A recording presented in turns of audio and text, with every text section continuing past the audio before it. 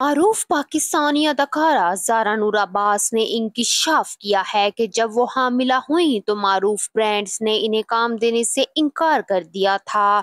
हाल ही में अदाकारा जारा नूर अब्बास एक पॉडकास्ट में शरीक हुई, जहाँ उन्होंने कैरियर और निजी ज़िंदगी समेत मुख्तलिफ़ मौजूद पर खुलकर गुफ्तगु की। इंटरव्यू के दौरान अदाकारा ने इंकशाफ किया कि जब मैं पहली बार हामिला हुई थी तो मैं इस दौरान एक ब्रांड के साथ काम कर रही थी। मेरा ब्रांड के साथ बाकायदा कॉन्ट्रैक्ट हुआ था। लेकिन जब ब्रांड को मेरे हमल का इल्म हुआ तो ब्रांड ने कॉन्ट्रैक्ट खत्म करते हुए मुझे मजीद काम देने से इनकार कर दिया था।